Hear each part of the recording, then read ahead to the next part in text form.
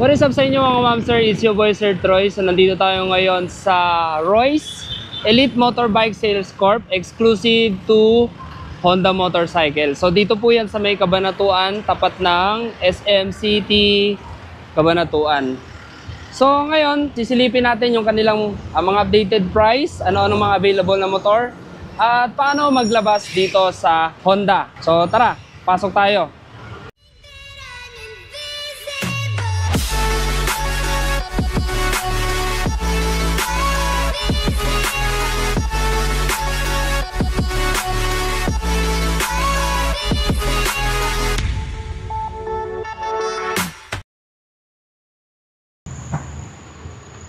So ito po ang kanilang showroom and then meron silang ah, service center doon sa kabila. So ito po yung mga available na motorcycle dito sa Elite sa Kabanatuan. So meron tayong mga scooter, meron tayong sports bike, adventure touring, and then mga pang trail, meron tayong 300cc dito. Ayan. And then mga pang pantra at saka mga pang service. Ayun. So umpisa natin dito sa kaliwa. Ayan. Magkano na ang mga updated price ngayon ni Honda. So meron tayo ditong Honda Beat. Meron tayong matte black and white na naka gold mugs. So ito ang updated price ni Honda Beat Premium. 72,400 at meron siyang down payment na 4,500. So kung interested kayo, ilalagay ko na lang yung contact number dito para kung magpapa-quotation kayo. Next, meron tayong Honda Airblade 160 SP. Naka-premium seat cover. Ang ganda ng kulay niya, no? Green siya, parang something beetle yung kulay. So, ito ang updated cash price ni Airblade 160. 125,900 at meron siyang down payment na 38,400. Next, meron tayo ditong Click 160 2024.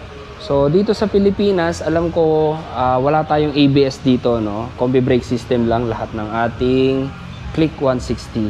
Ito ang updated cash price ni Click 160. 122,900 at may down payment siya na 37,500. Next, Click 125 Special Edition. And then ito po ay version 4. Kapag ka hindi nakakulay ng fairings nito yung ganito niya, no? So ito po ay version 4. Combi brake system din. At ito ang kanyang updated cash price. 83,900. May down payment na 5,200. Ito, pati yung grab bar niya iba rin ang kulay, no? Kulay bronze.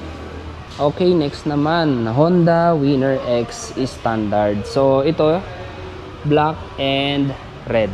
Meron din naman tayong isang standard doon, yung kanilang black and white. Ito ang updated cash price ni Honda Winner X.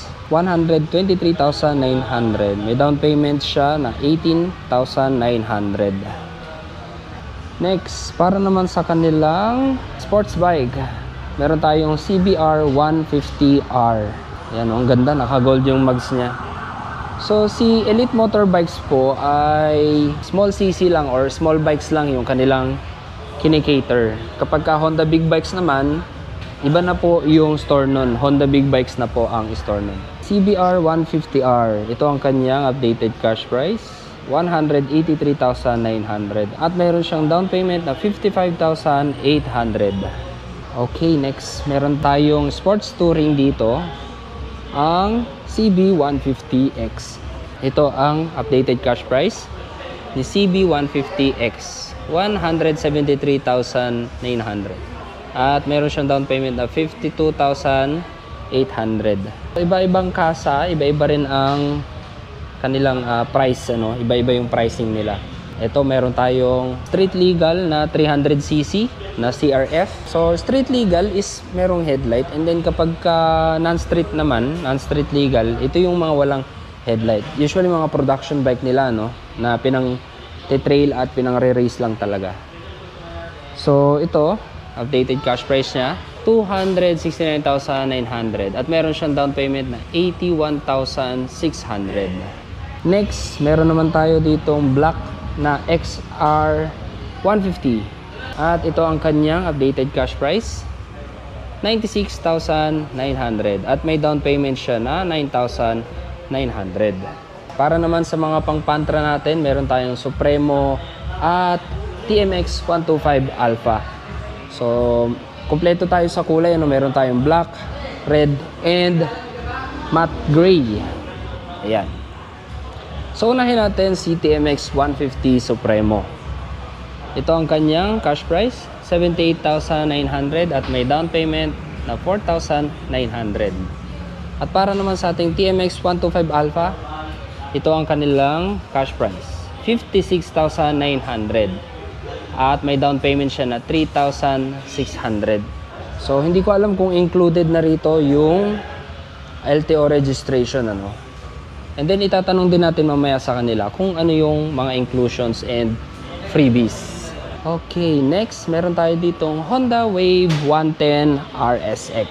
Yan, iba-ibang kulay ano, iba-ibang decals. Ito, naka-gold na decals. So may special siyang nakalagay dito. And then ito yung parang something mga uh, drum brake.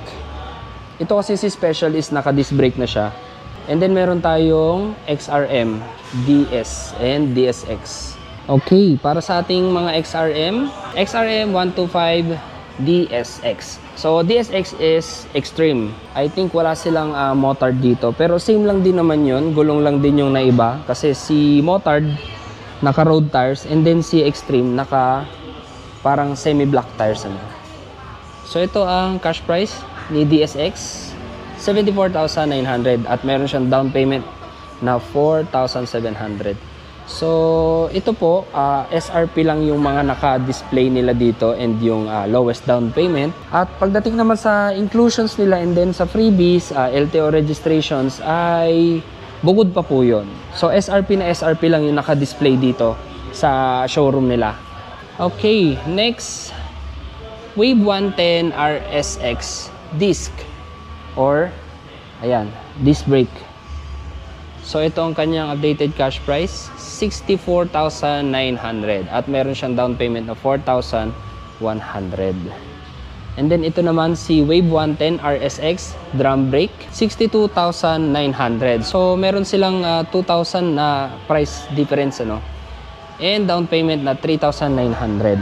So ang wala lang sa kanila ngayon dito naka-display ay ADV ADB 160. Pero meron sila ditong PCX na ABS at saka combi brake system. Uh, meron din silang air blade at saka click 160. So ADB lang talaga ang wala rito kasi mabili raw ang ADB 160 dito sa Elite motorbikes. Okay, dito naman tayo sa PCX 160 ABS muna. 149,900 at may down payment siya na 22,800. So ito, wala naman silang pinagkaiba sa braking system lang. Ito kasi naka ABS. Ito naman combi brake system. So ito, malaki rin yung kanilang price difference ano. Si CBS naman may cash price na 131,900 at down payment na 20,100. So sa down payment nilang dalawa, konti lang yung pinagkaiba. Pero sa SRP, uh, ah, parang something halos uh, halos 20k na rin yung difference. And then wala pala sila ditong Winner X na racing. Ang meron lang sila dito ay premium and then standard. Okay, and then uh, last sa kanilang mga naka-display dito, Winner X ABS Premium. So sa premium natin, uh, usually malalaman nyo lang yan pag matte colors. And then sa standards kasi natin, puro glossy ano. And then yung racing natin, naka HRC color siya which is yung red, blue and white. Parang yung Fireblade na kulay. Ito yun, no? ABS Racing Type. And then ABS Premium, puro matte colors, red and black. And then sa standard naman natin, red and white. So ito po yun. Okay, para naman sa updated cash price ni Honda Winner X ABS Premium, ayan. 129,900 at meron siyang down payment na 19,800. For installment naman, ito ang kanilang requirements. Sa COD, valid ID lang. And then, installment, kay buyer kailangan niya ng 2 valid ID, co-maker, payslip, proof of income, and proof of billing. So, payslip or COE, I think pwede rin yon. Payslip with uh, at least 3 months updated Yan, proof of income. And then proof of billing. So sa proof of billing natin, ah, internet, water bills, or electric bills, ganyan. So kailangan nyo ng co-maker. At si co-maker naman, ang kailangan niya i-present ay two valid ID and proof of property. And then para naman sa contact number ni Elite Motorbike Sales Corporation, ayan, Cabanatuan Branch. Ito po yung kanilang contact number sa ibaba. Yon, so yan lang ang ah, vlog natin para dito sa Elite Motorbike Sales Corporation Cabanatuan Branch exclusive to Honda Motorcycle. So kung nagustuhan niyo yung vlog natin, kung tingin niyo mas okay maglabas dito at mas madali, comment nyo lang dyan sa comment section sa ibaba. So like, comment, share, and subscribe and hit the bell notification para updated kayo pag may bago tayong video. So ride safe and see you on my next one.